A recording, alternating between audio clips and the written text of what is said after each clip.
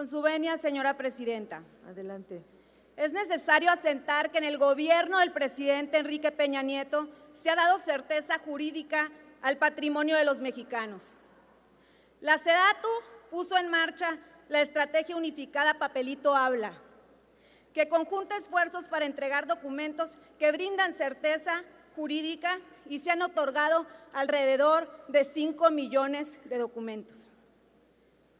El Registro Agrario Nacional hasta 2015 tenía un rezago de 91.238 asuntos.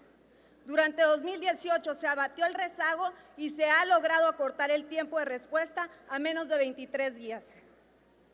Con el objetivo de proteger el patrimonio familiar y fortalecer los derechos sociales de los campesinos mexicanos y sus familias, el Registro Agrario Nacional de diciembre de 2012 a junio de 2018 ha expedido 1.791.514 certificados y títulos en beneficio de 1.082.783 sujetos de derecho. El 16 de diciembre de 2016 se reestructuró la Comisión para la Regularización de la Tenencia de la Tierra, CORET, para transformarse en el Instituto Nacional del Suelo Sustentable con el objetivo de atender las causas y no solo las consecuencias de la ocupación irregular del suelo. El Instituto Nacional del Suelo Sustentable y su antecedente, la CORET, entre diciembre de 2012 y junio de 2018, entregó 215.469 escrituras.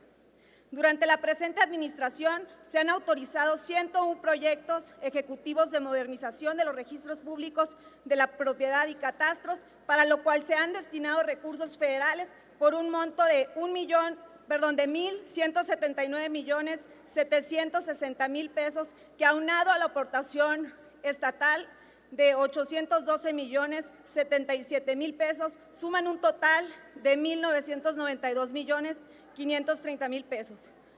Los resultados en la materia que hoy nos ocupa por sí mismos es, es indiscutible que no hay avances. Sin embargo, quiero precisar que es inaceptable la ligereza de responsabilidad, la descalificación Tiempo. sin bases fundadas que algunas y algunos han hecho aquí. Estamos a favor de la ley y en contra de los linchamientos. Es cuanto.